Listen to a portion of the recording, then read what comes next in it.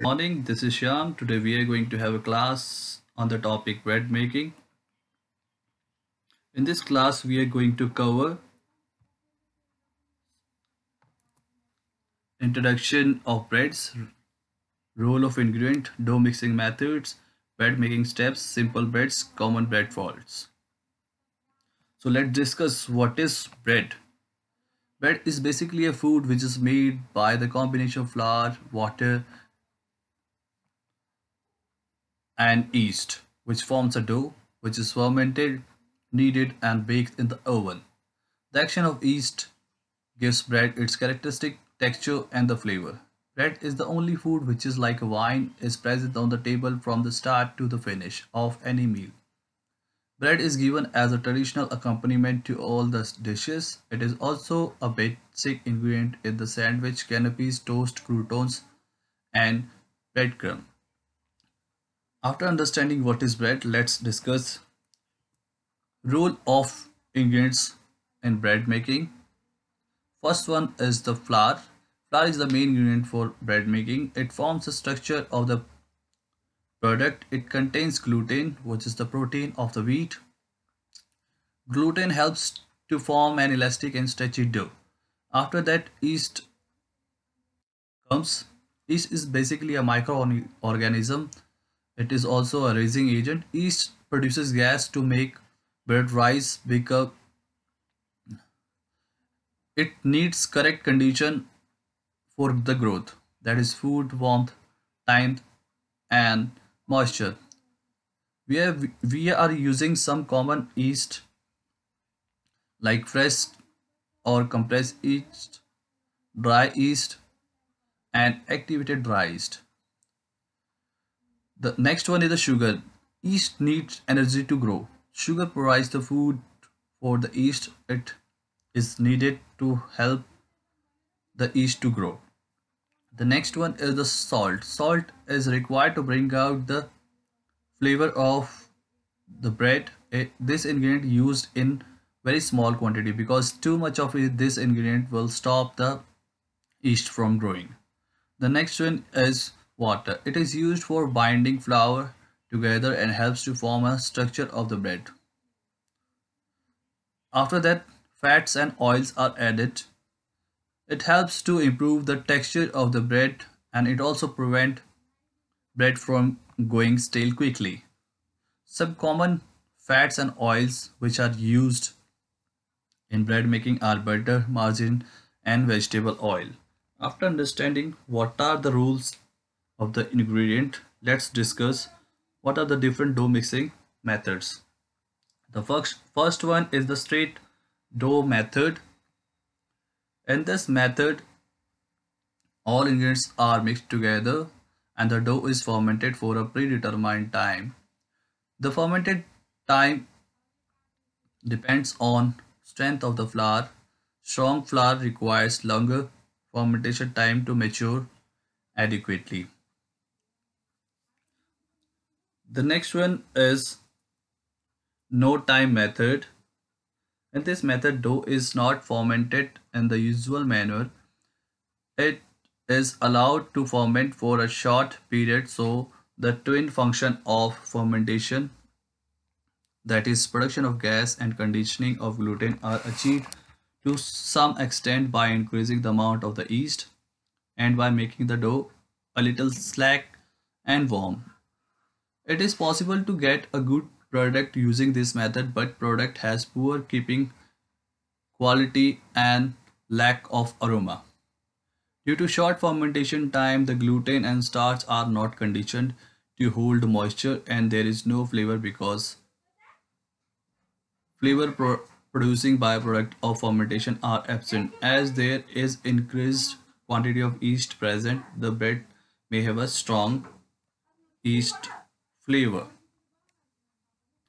The next one is salt delayed method. In this method, slight variation of straight method is used where all the ingredients are mixed except salt and fat. As salt has a controlling effect on action of yeast, the speed of fermentation of salt less dough will be faster and a reduction in total fermentation time could be affected. The salt is added at the knockback stage. The method of adding salt at the later stage may be according to convenience of individual baker. It may be added through dry flour on the dough and mix. It may be creamed with fat and mix. The method is specially suitable for strong flavors are to be used for bread making by straight method. Due to absence of the salt, fermentation speed is enhanced and gluten is matured in a reasonably shorter time. Next one is sponge and dough method. This is not a normal method. This method is normally used for strong flour. Sponge dough are prepared in two stages. This procedure gives yeast a head start. In the first stage, in this method, a part of flour, amount of water, all yeast and the yeast foods are mixed together. Mixing operations are carried out to incorporate all ingredients even, evenly. The sponge is fermented for a predetermined time which on the quality of flour and the amount of flour is used in sponge. The sponge is then physically tested by either taking a piece of sponge and try to break it out break it out with both hand. If piece breaks with a clean fracture then sponge is ready for mixing. If sponge stretches and break unevenly then sponge needs more time for fermentation. Tear the sponge apart from both ends and examine the web structure. If the web structure is very fine, then sponge is ready. When the sponge is ready, it should be broken down properly then with the formula water and mixed with remaining flour, sugar, salt and fat. After the dough is mixed, it is rested for 30 to 40 minutes. Predetermined condition of the gluten hasten the condition process this was done during the sponge stage. For the identification and the convenience, a sponge is indicated 60 oblique 40 or 70 oblique 30 where the first number indicates the percentage of flour used in the sponge. The next one is ferment and dough method. This is a variation of sponge and dough method. Rich doughs which contains milk, eggs, substantial amount of fat and sugar have retarding effect on yeast activity. If all the formula yeast part of flour, yeast food and sufficient water is mixed together, the yeast gets initial an environment which is conducive to vigorous activity and it is in a good condition to take on extra load of fermentation in the presence of milk, egg, etc. When the fermentation fermented dough is ready for fermentation. It is mixed into the dough along with the remaining ingredient along with the remaining ingredient allowed to ferment for the second stage. This method is used for making enriched breads, buns, Danish pastry, etc.